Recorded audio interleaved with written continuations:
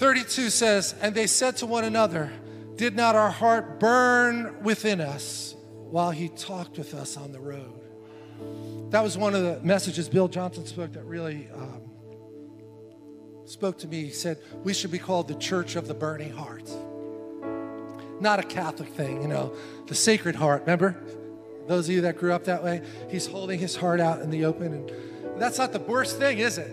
Like, imagine if all of us could live with that much honesty that we just held our hearts out to people and let them see it. But no, this is burning hearts. And if the church is full of people burning for the Lord, that's a church that's going to attract people with the light of God, right? And I think I might have said this story, but it just bears repeating because, you know, I love Bill Johnson. He's a, a fifth generation pastor. He's just gotten a father's blessing. You could just see it, it's all over his life. And it's beautiful how his church has impacted the whole world. It's amazing how one local church in, you know, kind of the backwoods of Northern California is known all over the world because he was willing to just submit to what the Lord was trying to do to, for him. And he was at a conference with Heidi Baker, and he was waiting as the worship was going on, and the praise and worship was going on, and there was a lady next to him. And I don't know if you know this, but he himself is a musician.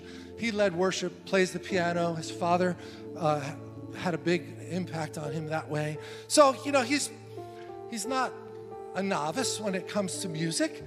And as he's waiting to go up to speak during praise and worship, there's this girl over here who's singing way off key and really loud.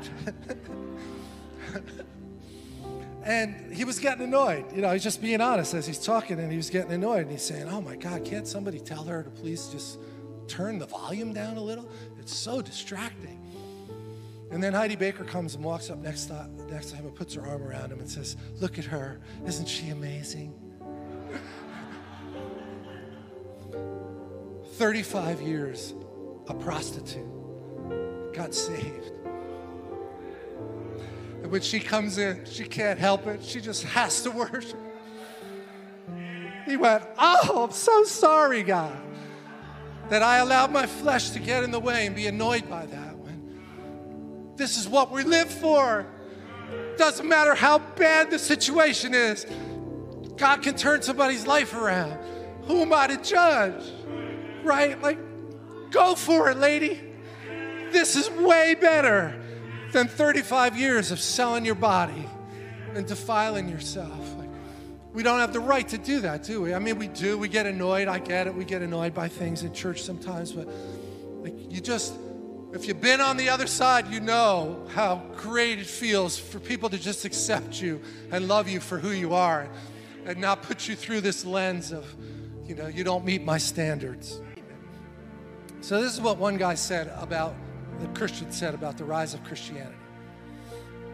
One of the most striking things about the early Christians was exemplified in ancient Turkey during a plague. All right, so we're in the middle of a plague right now.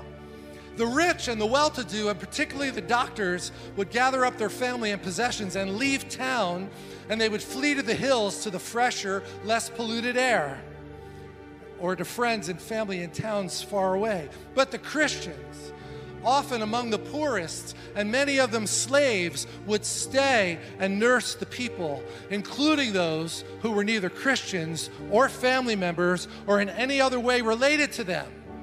Sometimes the people that were sick got well again.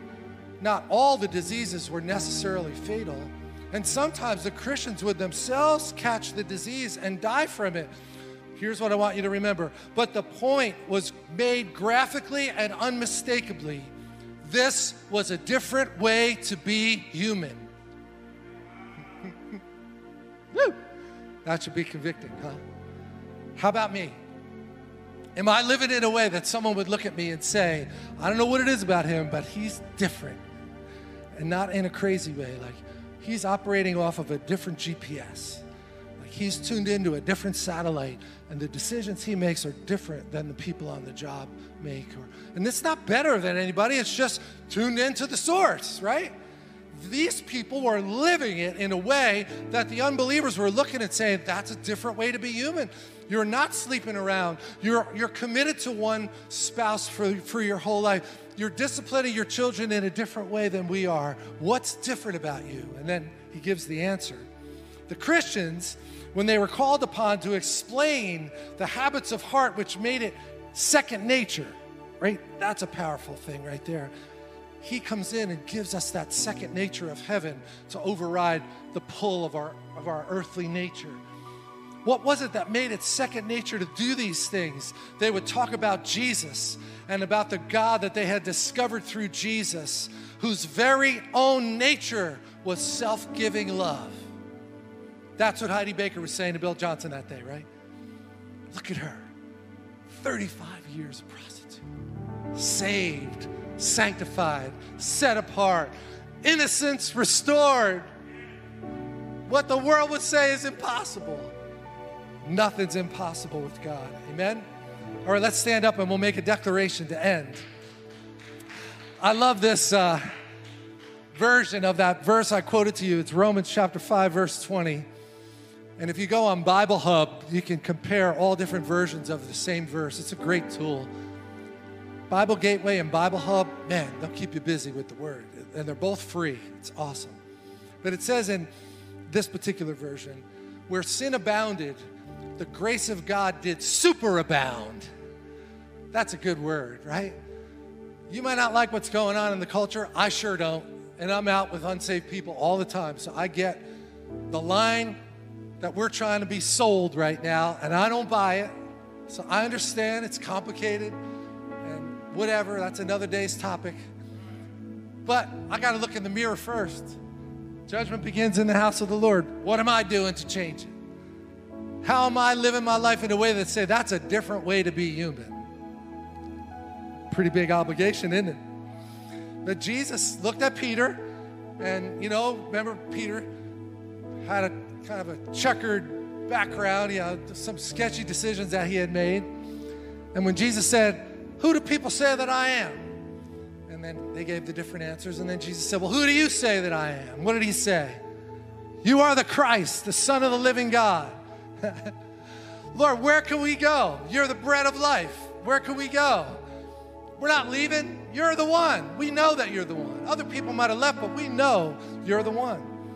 And that's when Jesus looked at him and said, On that rock, I believe, of your confession, Peter, that Jesus Christ is Lord. On that rock, I will build my church. Who's, who's speaking now?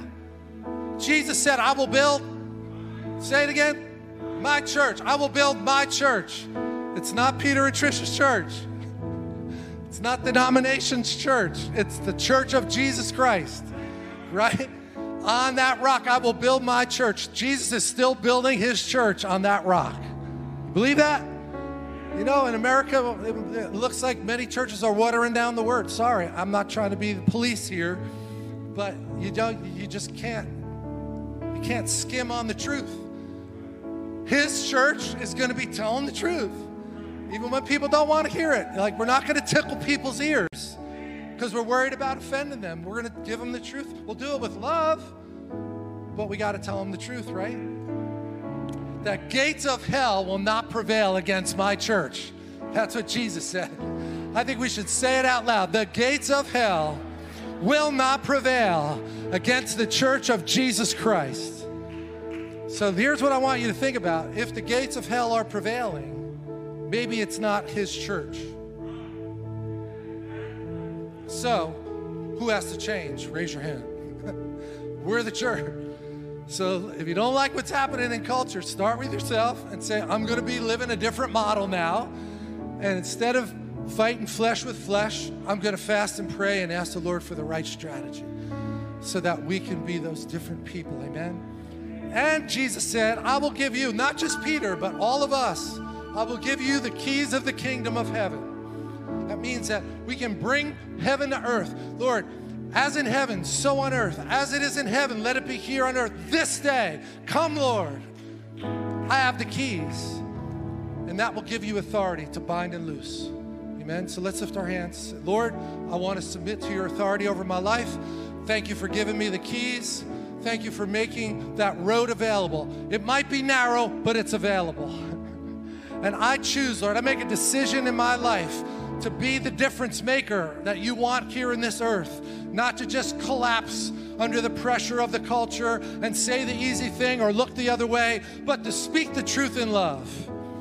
I refuse to dine with the father of lies. I will eat your word. I will speak the truth of God, but I'll do it with your oil, with the love of your Holy Spirit operating in me, so that we can all be obedient to your call, that our food would be to do the will of the one who sent us. The Heavenly Father, Son, and the power of the Holy Spirit working in us. I bless your people to go and be those change agents today in Jesus' name. Everybody said, Amen. Lift a shout, man. It's good. It's good to celebrate with the Lord.